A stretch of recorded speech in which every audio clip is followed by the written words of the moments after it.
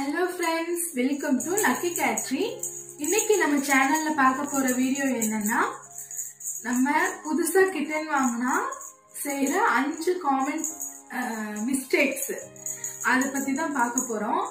இந்த இந்த மிஸ்டேக்ஸ் மட்டும் நீங்க பண்ணீங்கன்னா உங்க கிட்டனுக்கு வந்து சீரியஸான ப்ராப்ளம் நீங்களே கொண்டு வந்துடுவீங்க. அது என்னென்ன நம்ம பண்ணணும் என்னென்ன பண்ணக்கூடாதுங்கிறது பார்த்துடலாம். இன்னைக்கு நம்ம சேனலுக்காக வந்திருக்கிற கெஸ்ட் வந்துட்டு Black அண்ட் ஒயிட் ஒரு கிட்டன் ட்ரெடிஷ்னல் லாங் ஹேர் ஒரு கிட்டனு இவன் வந்து traditional pure traditional long hair நல்ல ட்ரிபிள் கோட்ல ஹெவி சைஸ் மேல் கிட்டன் இவன். இந்த கிட்டன் சேல்ஸ் தான். உங்களுக்கு தேவைப்பட்டுச்சுன்னா நீங்க இன்ஸ்டாகிராம்ல என்னை காண்டாக்ட் பண்ணலாம். இப்போ வாங்க வீடியோக்குள்ள போகலாம்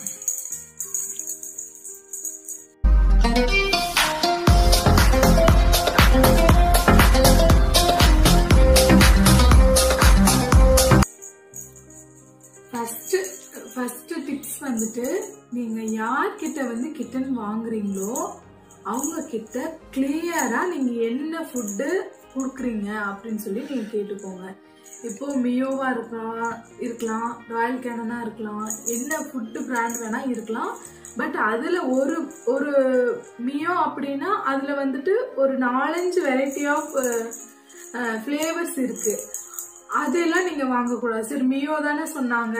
நம்ம வந்து ஏதோ ஒரு ஃப்ளேவர் வாங்கிக்கலாம் அப்படின்னு சொல்லிட்டு நீங்க வாங்கக்கூடாது. அவங்க என்ன மியோல இப்ப பெர்ஷியன் ஆன்டி ஹேர் பால் கொடுத்துட்டு இருந்தாங்கன்னா நீங்க அதுதான் கொடுக்கணும். அவங்க டியூனா அப்படின்னு சொல்லிட்டு ஒரு ஃப்ளேவர் இருக்கு அது கொடுத்துட்டு இருந்தாங்கன்னா நீங்க அதுதான் கொடுக்கணும்.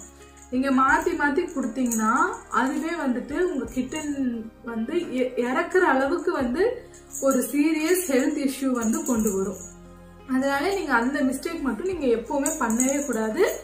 அவங்க என்ன ஃபுட்டு கொடுக்குறாங்களோ நீங்க அதுதான் ஃபாலோ பண்ணணும். அவங்க என்ன ஃப்ளேவர் கொடுக்குறாங்களோ அதை கிளியரா ஒன்றுக்கு ரெண்டு தடவை இல்லைன்னா வாட்ஸ்அப்ல வந்துட்டு போட்டோ அனுப்ப சொல்லி அந்த போட்டோவை காட்டி நீங்க வாங்கிக்கணும்.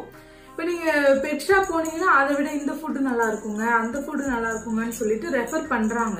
இப்போ என்கிட்ட இருக்கிற கஸ்டமரே வந்து ஏங்க நீங்க ஃபுட்டு மாத்தி கொடுத்தீங்க? நான் சொன்ன ஃபுட்டு நீங்க ஏன் கொடுக்கல? அப்படின்னா நீங்க பெட் சொன்னாங்க. இதை விட சூப்பரா இருக்கும் அப்படின்னு சொல்லி சொன்னாங்க. அதனாலதான் வந்து நாங்க வாங்கினோம் அப்படின்லாம் சொல்லுவாங்க. நீங்க இப்ப வந்து ஒரு ஒன் கேஜ் வந்து ஒரு த்ரீ ஹண்ட்ரட் ருபீஸ் ஃபுட்டு வந்து நீங்க கொடுத்துட்டு இருக்கீங்க அப்படின்னா ஆனா நீ- அஹ் கொடுத்துட்டு இருக்கோம் நாங்க கொடுத்துட்டு இருக்கோம் ஆனா நீங்க வந்து நான் என்ன நினைப்பீங்க நான் தௌசண்ட் ருபீஸ் ஃபுட்டு நான் வாங்கி கொடுக்குறேன். ஒரு கிலோ வந்து தௌசண்ட் ருபீஸ் ஃபுட்டு நான் வாங்கி கொடுக்குறேன் அப்படின்னு சொல்லிட்டு நீங்க வாங்கினாலும் அதுக்கு ப்ராப்ளம் தான். அதனால நீங்க வந்து இப்போ நீங்க அப்படி ஃபுட்டு சேஞ்ச் பண்ணணும் அப்படின்னு நினைச்சீங்கன்னா நான் ஃபர்ஸ்டே சொல்லியிருப்பேன் கொஞ்சம் கொஞ்சமாக அதாவது ஒரு நூறு கிராம் ஃபுட்டு நீங்கள் போட்டு வைக்கிறீங்கன்னா அதில் வந்து அஞ்சு டு பத்து கிராம் ஃபுட்டு வந்து புது ஃபுட்டு நீங்கள் ஆட் பண்ணி அப்படியே வந்து ஸ்டெப் பை ஸ்டெப்பாக தான் நீங்கள் இன்க்ரீஸ் பண்ணிகிட்டே குவான்டிட்டியை வந்து புது ஃபுட்டோட குவான்டிட்டியை வந்து இன்க்ரீஸ் பண்ணிட்டே அப்படிதான் சேஞ்ச் பண்ணணும். சடனாக நீங்கள் சேஞ்ச் பண்ணிங்கன்னா உங்க கிட்டன் இறக்குற அளவுக்கு சீரியஸ் ஹெல்த் இஷ்யூ வந்து வரும். ரெண்டாவது வந்துட்டு ரெண்டாவது டிப்ஸ் வந்துட்டு நம்ம வந்து நம்ம கிட்டன் வந்து நல்லா வளரணும் நல்லா ஹெல்த்தியாக இருக்கணும் அப்படின்னு நினச்சி நீங்கள் வந்து வீட்டில் வந்து பால் கொடுக்க ஹோம்மேட் ஃபுட்டு நம்ம கொடுக்கலாம் அப்படின்னு சொல்லி நினைப்பீங்க. அப்புறம் இந்த பால் கொடுக்கறது பச்சையாக வந்து மீட்ஸு ஃபிஷ்ஷு இந்த மாதிரி வாங்கிட்டு வந்து போடுறது இந்த இந்த மிஸ்டேக்ஸ் வந்துட்டு காமனாக எல்லாருமே பண்ணுறாங்க பூனை வந்து பால் குடிக்கும் தானே? பால் குடிக்காத பூனையா? அப்படின்னு சொல்லிட்டே வந்து நம்மளோட கல்ச்சர்லயே வந்து அது இருக்கு. பூனைனா பால் தான் குடிக்கும். அந்த மாதிரி வந்து. ஆனால் கண்டிப்பாக அப்படி இல்லவே இல்லை.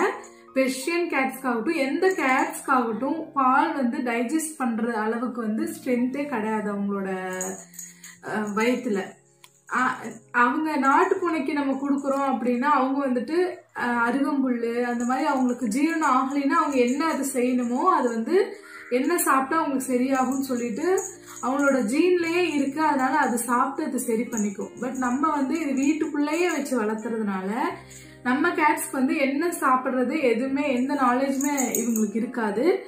அதனால வந்து லூஸ் மோஷன் வாமிட்டிங்னு சொல்லிட்டு ரொம்ப ப்ராப்ளம்ஸ் எல்லாம் வருது.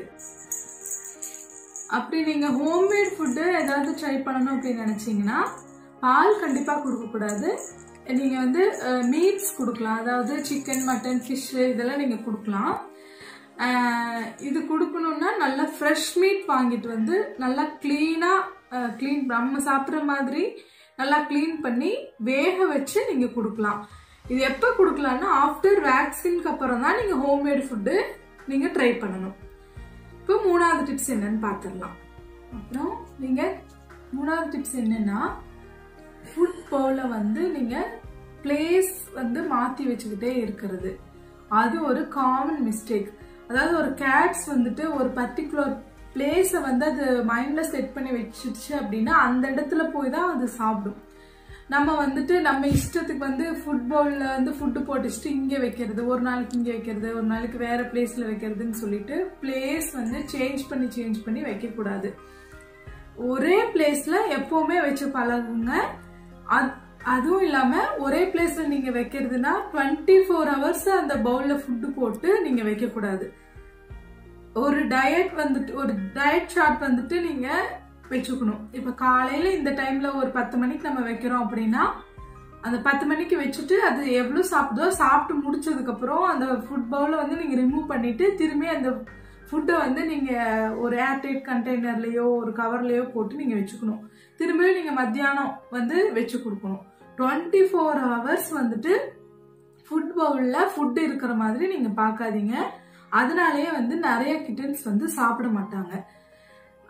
அப்புறம் நீங்கள் ஒரு ஒரு தடவையும் தண்ணி வைக்க வாட்டர் பவுல் வைக்கும் போதும் ஃப்ரெஷ்ஷாக க்ளீனாக அதில் நம்ம நம்ம வீடு கூட்டி இருப்போம் இருக்கிற டஸ்ட்லாம் அதில் பட்டிருப்போம்.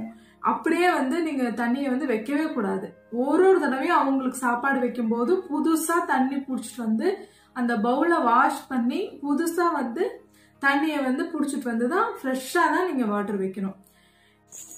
நாலாவது டிப்ஸ் வந்துட்டு லிட்டர் பாக்ஸ் இப்போ லிட்டர் பாக்ஸ் வந்துட்டு எப்போவுமே நீங்கள் ஃபுட்பால் வாட்டர் பவுல் எப்படி ஒரே பிளேஸில் வைக்கிறீங்களோ அந்த மாதிரி லிட்டர் பாக்ஸும் வந்துட்டு நீங்கள் ஒரே பிளேஸில் தான் வைக்கணும்.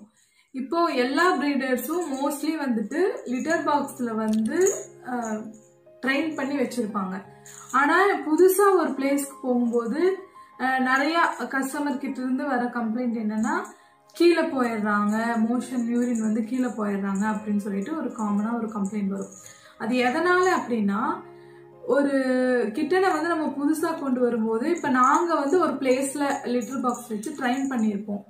ஆனால் இப்போ நீங்கள் புது வீட்டுக்கு கொண்டு போகும்போது அதுக்கு லிட்டர் பாக்ஸ் எங்கே இருக்குதுன்னு தெரியாது. அதனால வந்துட்டு அது கீழே போகிறதுக்கான நிறைய சான்சஸ் இருக்குது அப்படி பண்ணும்போது நீங்கள் என்ன பண்ணணும் அப்படின்னா கிட்டன் வந்துட்டு வந்துட்டு யூரினோ மோஷனோ போகிறாங்க அப்படின்னா ஏதாவது ஒரு வீட்டோட கார்னரில் போய் நின்றுட்டு கீழே வந்து சுரண்டுறது அப்புறம் சுரண்டிட்டு சுற்றிட்டே இருப்பாங்க கத்திட்டே இருப்பாங்க. ஏன்னா அவங்களுக்கு தெரியாது லிட்டர் பாக்ஸ் எங்கே இருக்குன்னு தெரியல அப்படின்னு சொல்லிட்டு அவங்க கத்துவாங்க. அதுக்கப்புறம் ஒரு ஏதாவது ஒரு வீட்டோட கார்னரில் போய் நின்றுட்டு சுரண்டிட்டு இருப்பாங்க அந்த இடம். அப்போ அந்த மாதிரி பண்ணும்போது நீங்கள் டக்குன்னு சொ- எடுத்துட்டு போய் கிட்டனை லிட்டர் பாக்ஸில் நீங்கள் எந்த இடத்துல லிட்டர் பாக்ஸ் வச்சுருக்கீங்களோ அந்த அந்த லிட்டர் பாக்ஸ்குள்ளே நீங்கள் இறக்கி விட்டுணும் இந்த மாதிரி ஒரு தடவை ரெண்டு தடவை நீங்கள் பண்ணாலே அதுக்கப்புறம் அந்த கிட்டன்ஸ் தெரிஞ்சிடும் ஓ இங்கே தான் லிட்டர் பாக்ஸ் வச்சுருக்காங்க நம்ம இங்கே தான் போகணும் அப்படின்னு சொல்லிட்டு அவங்களுக்கு தெரிஞ்சிடும் அதுக்கப்புறம் ஆட்டோமேட்டிக்காக அவங்களுக்கு யூரினோ டாய்லெட்டோ வந்துச்சுன்னா உடனே போய் அந்த லிட்டர் பாக்ஸ் கிட்ட போயிட்டு லிட்டர் பண்ணுறதுக்கு அவங்க தெரிஞ்சுக்குவாங்க. அதுக்கப்புறம் இன்னொரு காமனாக வர கம்ப்ளைண்ட் என்னன்னா நாங்கள் லிட்டர் பாக்ஸ் வைக்கிறோங்க. கரெக்டாக வந்து லிட்ரு பாக்ஸில் இறங்கி ஷிட் போகிறாங்க ஆனால் நெக்ஸ்ட் டைம் வந்துட்டு கீழே போயிடுறாங்க. அது எதனாலேன்னு தெரியலைங்க அப்படின்னு சொல்லிட்டு நிறைய கஸ்டமர் கேட்பாங்க. அது எதனால் அப்படின்னா ஒரு சில கேட்ஸ் வந்துட்டு என்ன பண்ணுவாங்கன்னா அவங்களுக்கு ரொம்ப க்ளீனாக இருக்கணும்.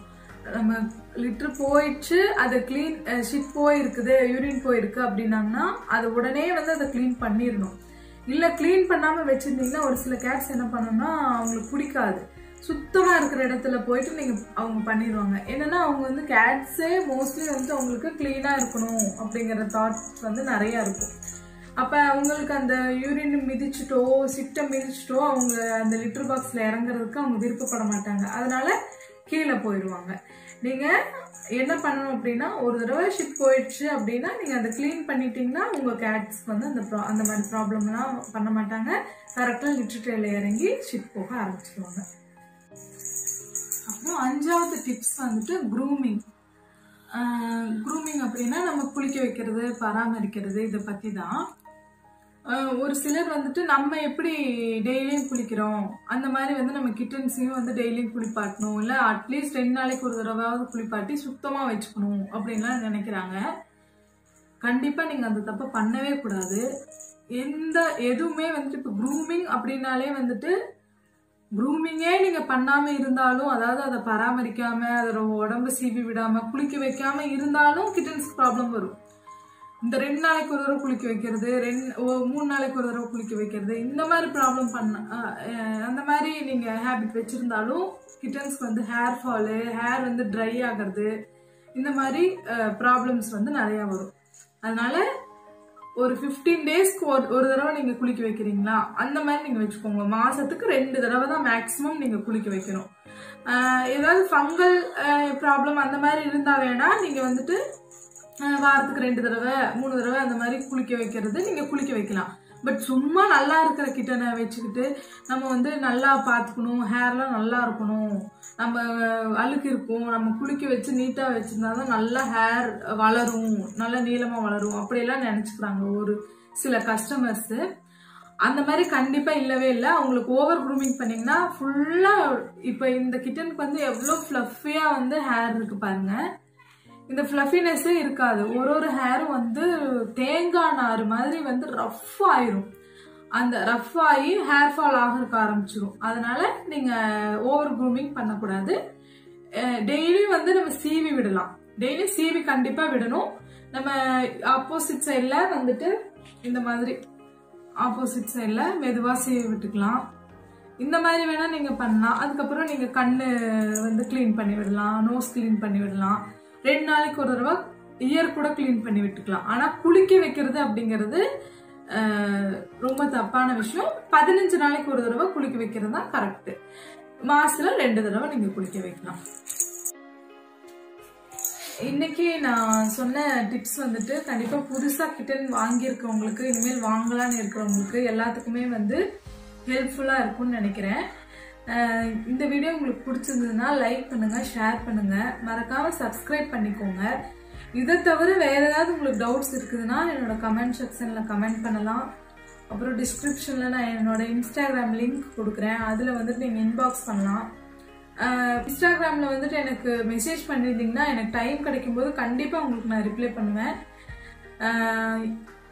நான் வந்து வீடியோவே வந்து ரொம்ப நாளைக்கு ஒரு தடவை தான் போட்டுட்ருக்கேன். ஏன்னா ரொம்ப பிஷ்யூ ஷெட்யூல்னால என்னால் போட முடியறதில்ல. பட் எனக்கு வந்து டெய்லி வந்து ஒரு பத்து சப்ஸ்கிரைபராவது இன்க்ரீஸ் ஆகிட்டே இருக்காங்க. உங்களோட சப்போர்ட்னால தான் நான் திரும்பவும் வந்து என்னோட பிஸி ஷெட்யூல்லே கூட நான் வந்துட்டு கொஞ்சம் டைம் ஸ்பெண்ட் பண்ணி வீடியோ போடணும்னு நினைக்கிறேன். எனக்கு சப்போர்ட் பண்ணிட்டு இருக்கிற எல்லா ஃப்ரெண்ட்ஸ்க்கும் ரொம்ப தேங்க்ஸ் தேங்க்யூ தேங்க்ஸ் ஃபார் வாட்சிங்